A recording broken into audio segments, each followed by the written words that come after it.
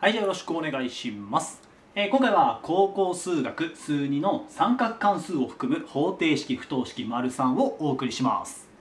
で、このシリーズ3本目となりまして、で今回から、今回からっていうかね、前回と前々回と違うのが、この部分ね、シータンとかなんかいじられてるっていう、まあ、これも全部そう。っていうタイプの問題を今回方程式ね、3問やっていきます。なので、できそうな子はね、ぜひ動画を止めてやってみてください。で、ちょっと確認してもらって分かんないのがあれば、今からね、全部解いていきますんで、聞いてもらえたらと思います。いいかな？じゃあ、早速ね、1番からまず解いていきますので、どうぞよろしくお願いします。よし、じゃあ行きましょう。で、いつも通り範囲はね、0から2倍です。シータはね。で、その時方程式を解いていきます。で、まず1番なんですけど、まあ、今回はね、さっきも言ったように、ここが違うと。ただのシータじゃねえっていう。で、こういうタイプの時は、まず範囲を書きます。というか、書いてある問題集が多いので、まず書き出すといい。慣れるまでは。そうするとどう書き出すかっていうと、これが主役なので、シータプラス6分のパイ。ね。で、それがどの範囲なのかっていうと、結局、シータは0と2パイなんでね。範囲が0から2パイ。で、それに6分のパイ足してるだけだから、0に6分のパイ足すともちろん6分のパイです。で、こっちは2パイに6分のパイを足すから、これ6分の12でしょ。約約度通分するとね。なので、6分の13パイとなります。これの範囲が。で、ぶっちゃけ言うと、別に範囲書かなくてもいいじゃんって思ってる人、俺はね、思ってるけど、でも慣れるまでは書くといい。この一周じゃん。0から2パイって、0度からこう360度。だから一周なんだよね。その時はあんまり書く必要ないんですけど。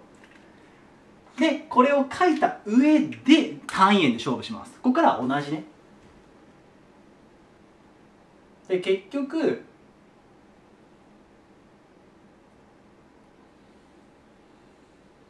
やりたいことはここにサインがごちゃごちゃしてるけどさサインシータ、まあ、サインホニャララが2分のルート3になるのどこなの？って聞かれてるのサインがね2分のルート3でサインは y 座標でしょ？でそれが2分のルート3だからまあここだよね。ここ。でここが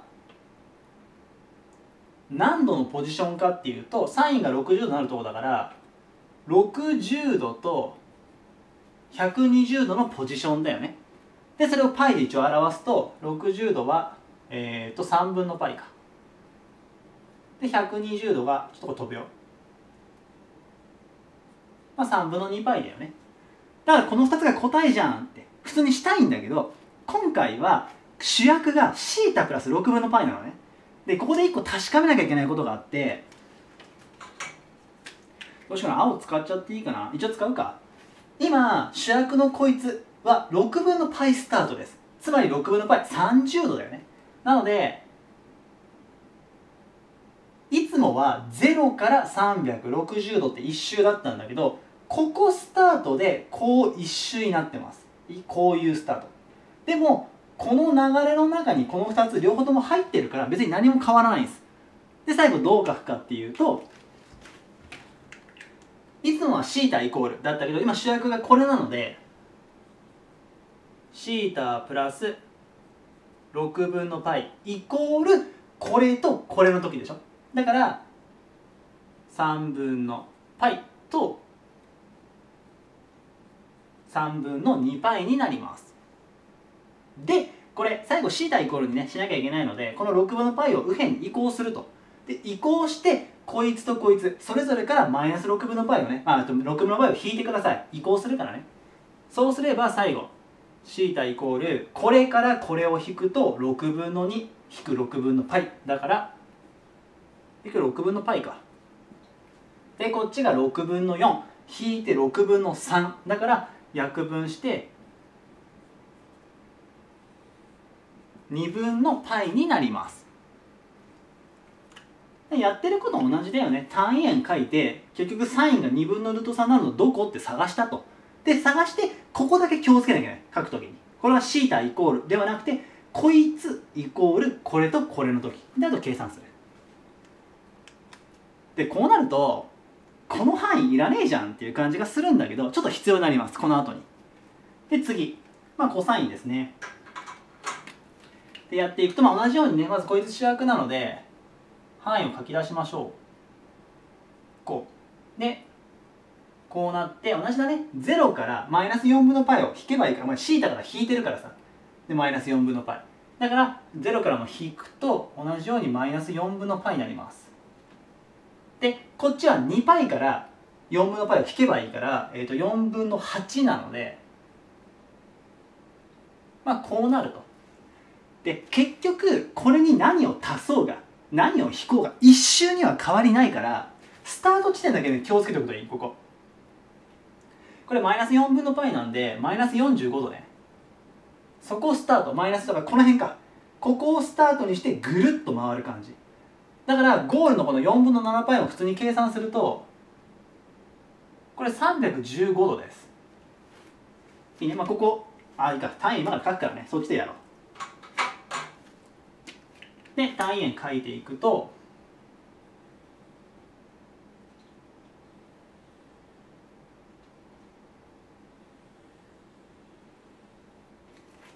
こうなってでまずコサイン探しちゃうか普通にね。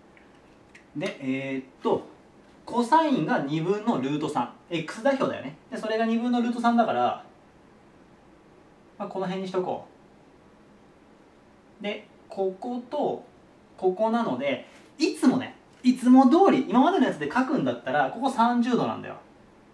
でぐるっと回るからここ330度なんだよね。いつも書けば。でも今回これがダメなの。なぜかって。330入ってないからここに。今スタート地点がねマイナス45度だからさ、まあ、ここだよね。こっち。ここスタートになってる。でここマイナス45度でこうまずぶつかるからここは330ではなくてマイナス30度と表します。330度とマイナス30度同じ場所だからね位置としては変わらないんだけど330はこの範囲に入らないからこういう書き方をするでそうぐるっと回ってくるから30度は OK ね普通に入ってるしこの中にこう回ってくるからさつまり最後書くときは主役がこいつなんでシータマイナス4分の π こうねでイコールこいつとこいつの時で30度は6分の π でしょだからこれマイナス6分の π これ6分の π ですなので この2つの時が答えになります。ちょっとごめん喉の調子が悪くて。でこいつを右辺にね移行してきてそれぞれ計算すると。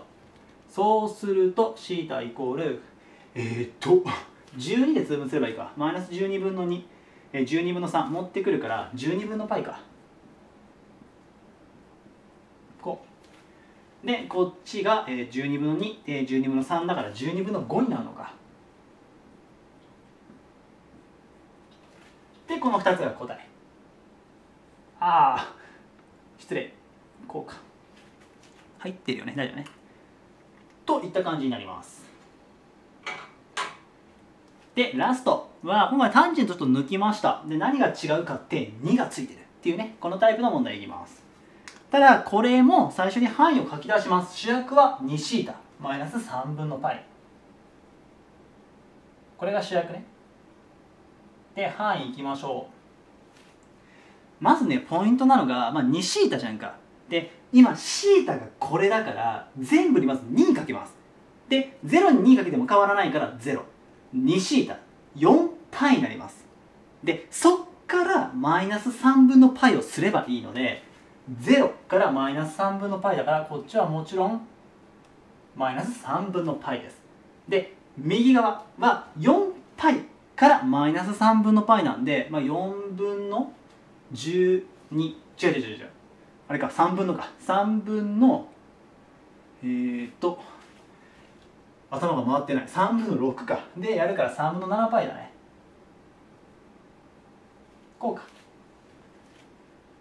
ていうふうになりますあってん違くない ?4π だ3分の12かだから引くから3分11だね はい失礼しましたでこうなりますでも結局大事なのは、まあ、スタート地点だよねここ でマイナス3分の π だからこれマイナス60度で右側はあえてやんなくていいです大事なのは 2θ ってことはこれ、まあ、4π まであるんだけど2周できるの 2π が360度でしょで 4π で720度なんでもう1周するイメージつまりマイナス60度ちょこっち使うけど この辺から1周じゃなくてもう1周できるよと思っといてください。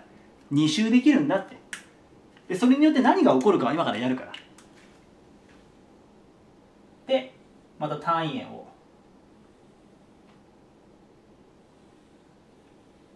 こう書いてで、えーと、まずサインが2分のルート3なのでこれちょっとこれと合わせたんですけどわざとね。同じように60度120度の位置だからこことここなのでちょっとこっち書き出そうか3分の π60 度ねで120度が3分の 2π でしょでこの2箇所だとだから普通にさっきと同じようにやるんだったら主役が 2θ マイナス3分の π なのでこれイコールこれとこれでいいじゃんって3分の π と 3分の 2π ってって思うんだけど違うんだこれ。まだある。で何がダメかっていうとちょっと待ってね。これ結局さっきも言ったようにマイナス60度がスタート。でしょ？ここ。だからこの辺からスタートしてるんだけどグーってきてはいぶつかりました。1回目。これね。でこうぶつかってこれ。でここで終了だったらよかったんだけどもう一周来るんでね。でもう一回ぶつかるでここもぶつかるで戻ってきて終了となりますだから2周目の分も入れなきゃいけない今回はで2周目の分はどう考えるかっていうと結局ここと同じ位置です1個目3分の π ですそれにもう1周足すっていうのは360度足せばいいから 2π を足せばいい結局だから3分の π に 2π を足して3分の 7π になりますこうやってねでこれにも 2π を足すと 3分の8パ入ってた。よかった。もちろん2周目こうもともと60度だからもう1周してきたら420度でしょ。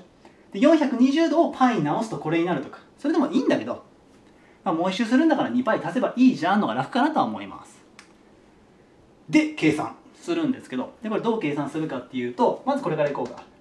こいつまず消したいと移行するんでこっち持ってきます。で足すから3分の2パイです。